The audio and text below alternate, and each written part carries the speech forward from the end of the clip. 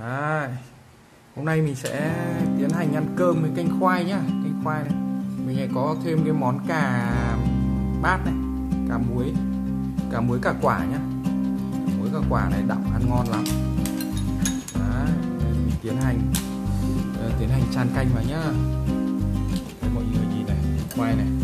Đấy, rất là bở luôn nhá. Chúng ta có thể dùng cả miếng hoặc là dùng uh, dòng nó ra.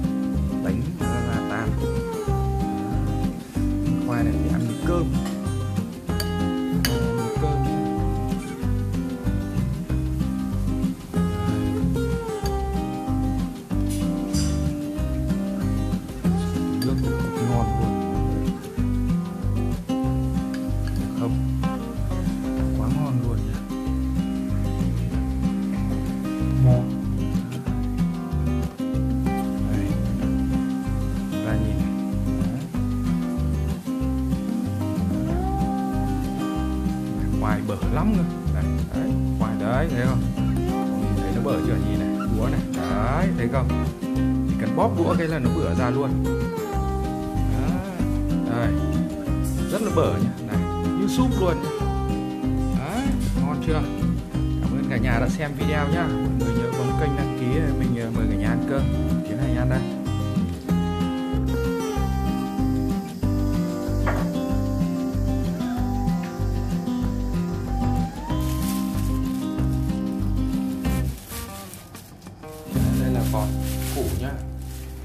Củ này là vỏ nó rất là dày. Nó rất là dày và nhớt. Thế nhưng mà ăn thì lại rất bở. Ra vỏ sạch. Cọc ở quê Hà Nội mình gọi củ này gọi là củ nhiều nơi người ta gọi củ lăn củ lỗ. Củ này nó có trọng lượng ờ, khoảng ờ, dưới 5 cân.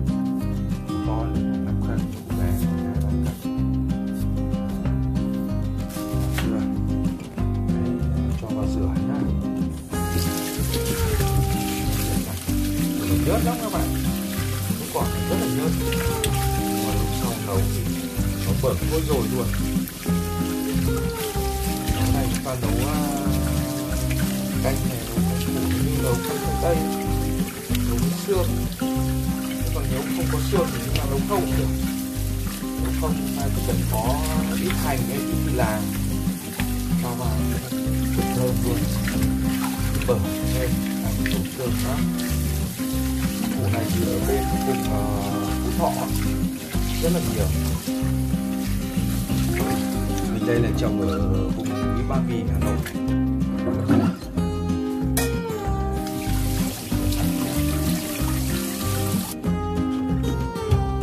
Vì nó nhớt cho nên là lúc chúng ta gọt nó nó rất là dính sạn như là cái đất bẩn mà.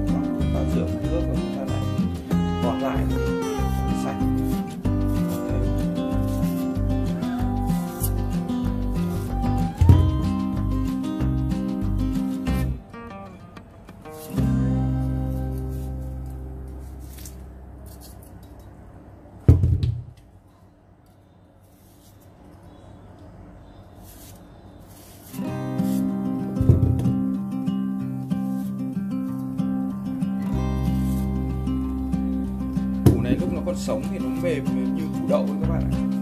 Đấy bạn nhìn vỏ nó rất là mềm nhá rất mềm như cái củ đậu mọi người ăn củ đậu thì biết.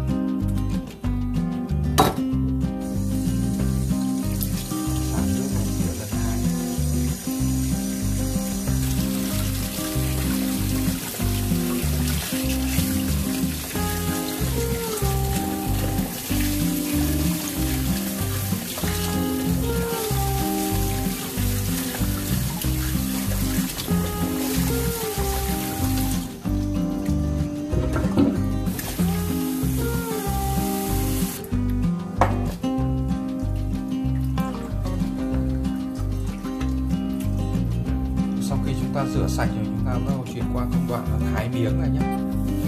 Thái miếng ra để hầm xương. Các bạn lưu ý là khi nấu cái củ này hầm cái củ này thì nếu mà chúng ta không cho đũa vào khoắng ấy chúng ta cứ thả vào nồi xương ninh chúng ta không cho đũa vào khoáng thì nó không tan ra. Nó vẫn còn đúng nguyên cái hình miếng củ này nhưng mà khi mà chúng ta gắp lên chúng ta cho vào mồm ăn đầu cho vào đầu lưỡi và nó, nó còn nếu mà chúng ta cho đũa cho thìa chúng ta quẳng thì nó sẽ như súp luôn. Nó sẽ tan hết ra như súp luôn. Ủa, rất bở luôn nhé chúng ta thấy miếng to này ra xem ăn ninh xương nó ngon. Có nhiều nơi người ta có khi còn gọi là củ mỡ. Quê mình cứ gọi là củ cọc. Cọc như kiểu kiểu củ mọc bờ rào thế còn ở nhiều nơi họ gọi là củ lăn, củ lỗ. Củ này khi trồng thì chúng ta phải dùng lúa lên luống lên luống xong là cho dây leo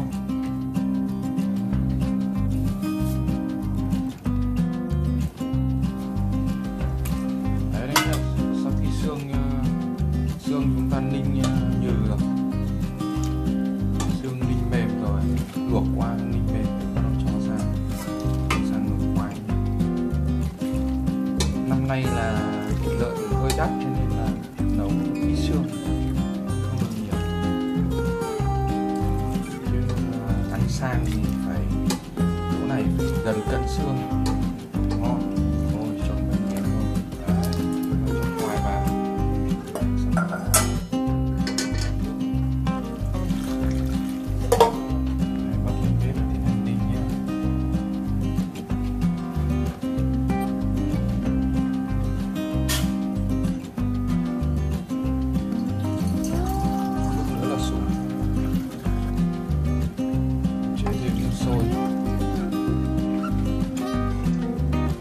các bạn sẵn cái nồi ninh xương thì các bạn chỉ cần đổ khoai vào là được.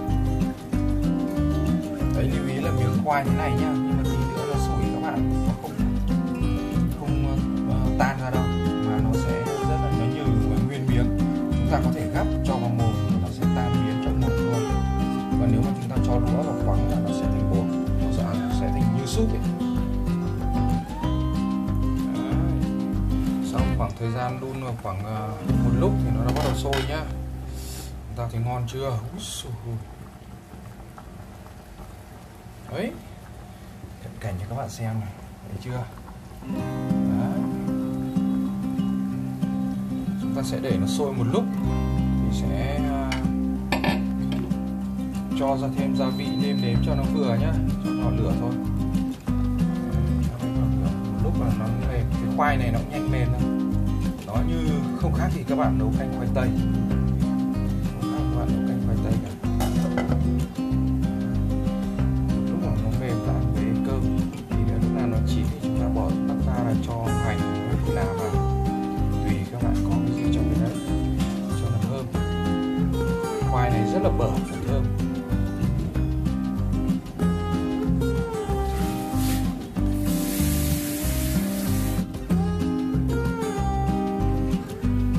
đang sủi rồi các bạn nhá.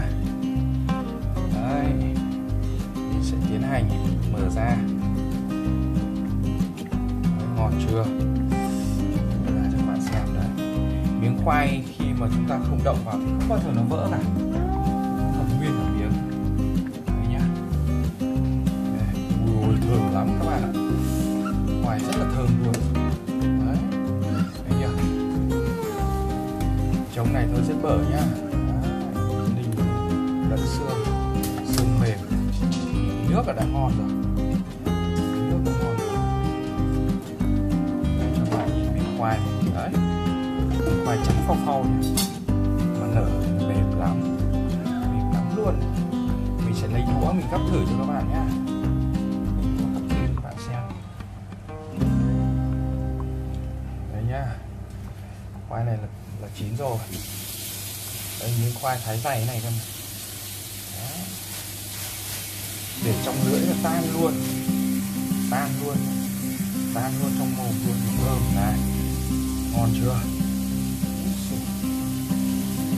Vừa nấu được có mấy phút rồi nhá. Đấy, mình thử miếng này nhá. Thơm quá. Thơm tuyệt vời luôn nhá.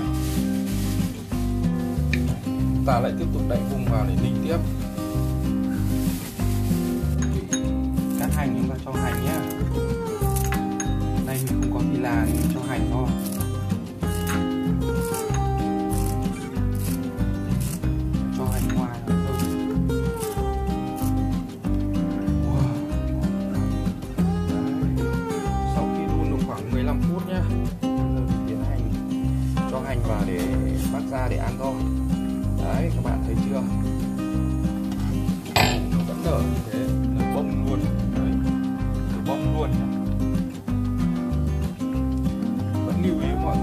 Không động nó vào thì nó sẽ không khuấy.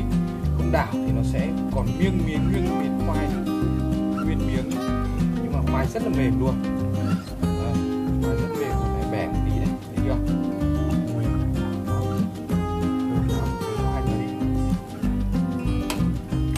Đấy. nếu chúng ta thích ăn cho nó mềm nước, nó như như gần gần gần như súp chúng ta dằm dằm một tí dằm dằm đảo đảo một tí này, cho nó ra xong rồi tưới tưới vào cơm thì ăn dễ hơn. Đấy. Thấy không? Xong cái dằm ra đấy. Đấy, cho hành vào. Còn chưa?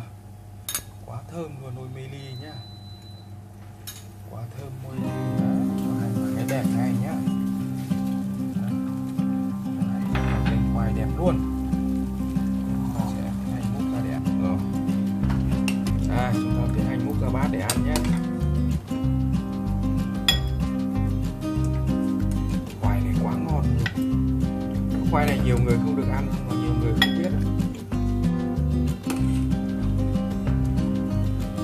Là những người mà hay ở các vùng núi thì biết những cái giống khoai này.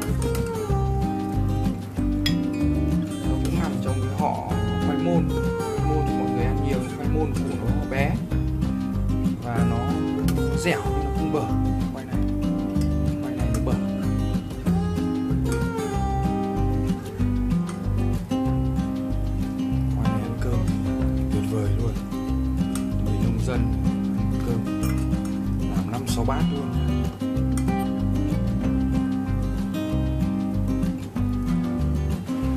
Đấy nhá. Sau khi chúng ta nấu chúng ta hoàn thành thì được một cái bát canh khoai ngon như thế này. Đấy, đặc biệt luôn.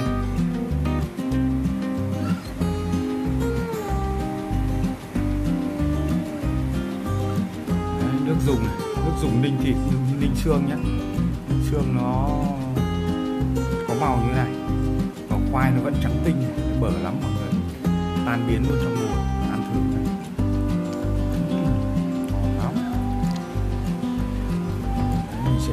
Thử nhá. Thử miếng này. Mời mọi người ăn uh, canh khoai củ cọc với mình nhá.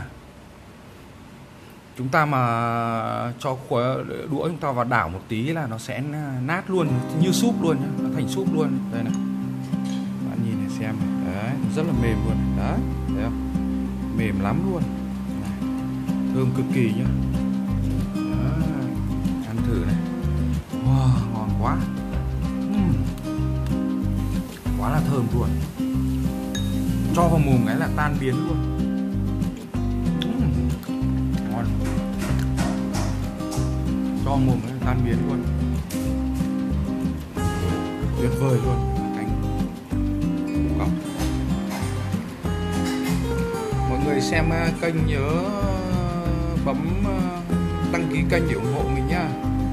Mọi người cần hỏi gì về cái giống khoai này thì comment bên dưới trả lời.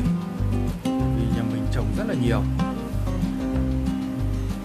Trồng chủ yếu để ăn thôi, ăn mình cho mọi người cùng ăn.